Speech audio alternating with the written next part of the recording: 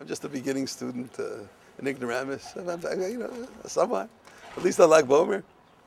Try to listen to uh, certain great people's teachings, uh, people here in, in Eretz Israel, people in, in Yerushalayim who are experts at this field. And I think that uh, a person should at least begin some level of some level of, of connection because that's part of the totality of Torah to understand the tradition beyond the tradition.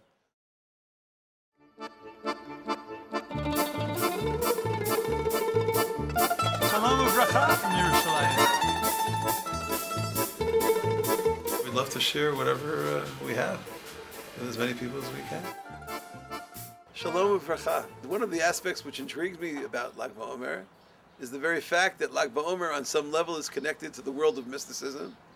And there's even something mystical about trying to study the origins of Lag BaOmer. What exactly are we celebrating on Lag BaOmer? There are several approaches, but I would like to discuss two of them.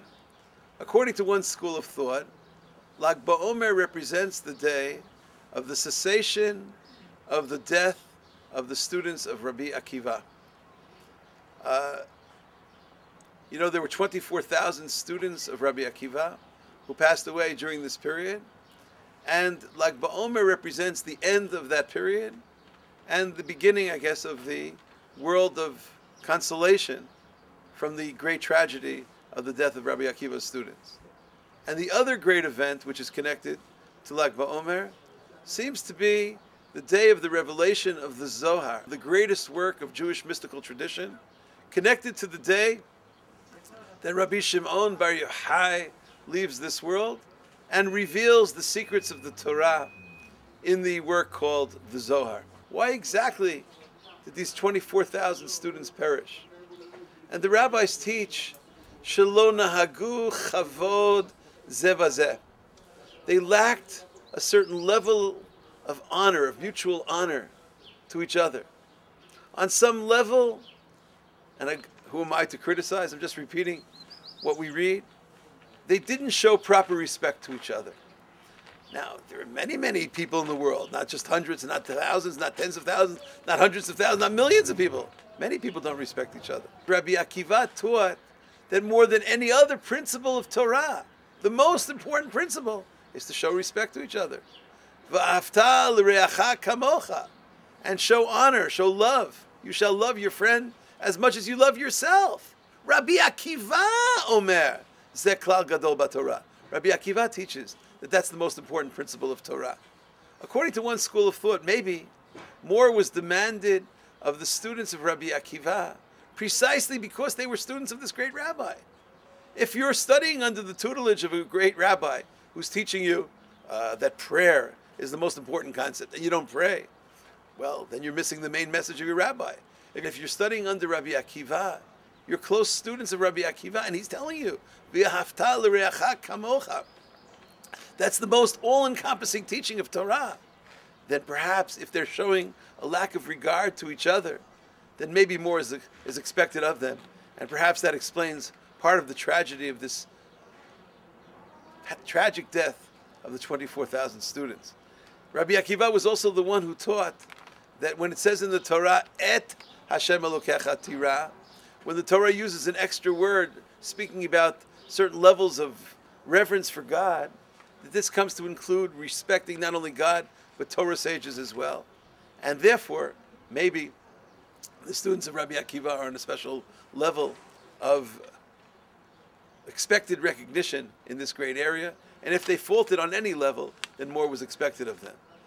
Lag BaOmer then would represent the day where we have already internalized this message. And it's, of course, the great day of Nahagu Chavod Zebazeh. If this is the end of the period of lo nahagu chavod, if this is the end of the period where they lack respect, then of course Lag BaOmer hopefully is being observed. I hope all over the world, and especially here in Eretz Israel, with the highest level of love and respect for each other. And the other great event that took place on Lag BaOmer, according to one tradition, is the day of the revelation, the teaching of the Zohar by Rabbi Shimon Bar Yochai. Now, according to one understanding of mystical tradition, the Zohar teaches us that there's so much more to the Torah than meets the eye. On this great level of studying on this day of Lag BaOmer, what we understand is that the Torah is more than you read. It's more than you see. Because so many people say, well, can you show me in the text where it says that this is the message? You say, well, it's right there. Where is it? I don't see it. Of course you don't see it, because you only read the black letters. But in, in the world of mysticism, there's something beyond the black letters of Torah. There's something called the white letters of Torah. Around each black letter, there's a white space. The technical explanation, of course, is if there wouldn't be any spaces, you wouldn't be able to read anything. The black letters would just run right into each other. But according to the world of Kabbalah, I'm not a Kabbalist, I'm just repeating. According to the world of Kabbalah, in those spaces around the black letters, somehow this indicates for us, this teaches us that there's more to the text than meets the eye. There's so many people who can't relate to Torah. Torah doesn't mean anything to them, God forbid. You know, they read it and they say, I, I don't know, this doesn't seem to be a very important work to me. I don't see the rev- relevance of this work to my, uh, my inner struggles. Maybe that's because they've only been reading the Torah on one level. Maybe Lag BaOmer is the day where we go beyond the simple level of the Torah, beyond the level of, of Darush, beyond the level of Remez, and we go into the level of Sod. Maybe they're all looking for the secrets of Torah. Rav Kook once said that although in previous generations there were so many requirements before one could study mysticism, before one could study Zohar, he says in the in the period of Mashiach, the period right before the redemption, the darkness will be so great that we'll have to shine our brightest lights. And he claimed that the brightest lights were the lights of the Zohar, the lights of mysticism. And so maybe that's what's being celebrated on this great day. And I was thinking that maybe if it's the day where Rabbi Akiva's students, uh, Baruch Hashem, we should never know of any kind of tragedy in any Jewish community. But if this was the day of the cessation of the death of the students of Rabbi Akiva because of the sin that we spoke of before, of lack of mutual honor, maybe the way we could begin honoring each other is if we saw each other in the view of the Zohar. Maybe the way to read, to read people is also a Zoharic reading of people, of human beings. You see, when you see a text of Torah, all you see is the text. But there's more to the text, there's more to the message than you see. You know why people don't respect each other? Because when they see someone else, when they encounter another individual, they think, okay, I, I know who this person is. I see this person. I understand their totality. No, you don't. That's because you're not reading this person with the Zohar. There's so much more to them. There's such depth to them. There's a secret to every person. The Hebrew word for secret and the Hebrew word for stranger are identical words. Every person is a zar and a raz. Every new person that you meet, every individual, you think, stranger. There's nothing much to that person. Oh, yes, there is, because you have to start reading it with the Zoharic light of the mysticism, of the inner mystical light of every person. Lag BaOmer is that day. We're out, throughout Israel here. There are bonfires, there are medurot all over. And so many people have tried to explain why exactly are there so many bonfires? What do they represent? Some say maybe it's one big yahrzeit candle. Maybe they're lighting some kind of memorial light in memory of Rabbi Shimon Bar Yochai.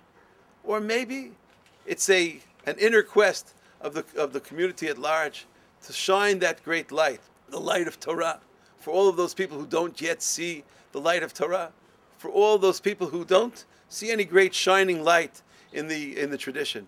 Maybe we're praying together that they should be able to see the light as bright as the Midurah, as light as the uh, bonfire, and maybe to shine the light of each individual. Maybe this is the day where no longer will we lack regard for each other, no matter who, our, who the other person is. May we see the great inner light of that other individual. And as we observe Lag BaOmer, each person in his or her own way, as you go to view those bonfires and that great light, realize that there's a great light in the person down the block. There's a great light in your employer, in your employee, in your colleague, in your friend, and see that inner light and may it shine forever. I hope that we can internalize the messages of Lag BaOmer, and I hope that each of us can show greater love, respect, regard for every other individual, and may we show greater love and respect and regard for every word of Torah as we study the inner light that's shining, especially on Lag BaOmer. Thank you so much for listening. Shalom. I surely think that on, on some level, there's this wave of interest in mysticism in this generation. And I really do feel that when some people read the Torah and they use words like, I'm bored, it's insignificant to me. You know, I, I read through the Torah. Then maybe what they're lacking is a certain kind of inner light that has to shine for them in their study. And I would recommend that each person try to find the proper teacher because there are people who speak in the name of mysticism who are not necessarily uh, teaching the, the truths of our, of our tradition. But if a person can find a genuine teacher, a genuine uh, Rav, a Rebbe, to study with them, I think very often this can open up new areas of understanding and make the Torah, which seems so technical and so detailed, just bring it all alive to a, to a higher level of, uh, of understanding.